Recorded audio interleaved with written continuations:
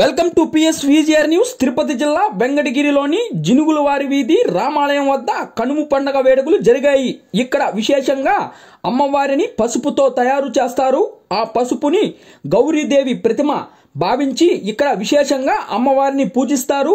ఈ గౌరీదేవి పూజలను ధనుర్మాసం నుంచి ఆరంభమై కనుమ పండగతో ముగుస్తాయి. భోగి సంక్రాంతి కనుమ ఈ మూడు రోజులు ఎంతో విశేషంగా ఉంటుంది. అమ్మవారిని వివిధ అలంకారాలతో అలంక అలంకరించి జరగడం జరుగుతుంది. భక్తులు తమ కోరికలను కోరుకుని తమ మొక్కులను చెల్లించుకుంటారు. అమ్మవారిని వెంకటగిరి పురవీధుల్లో ఊరేగిస్తూ మహిళలు ఆటపాటలతో కోలాటాలతో నృత్యం చేస్తారు. అమ్మవారిని నిమజ్జన సమయంలో పసుపు కుంకుమ సారె గాజులను భక్తులకు అందజేస్తారు.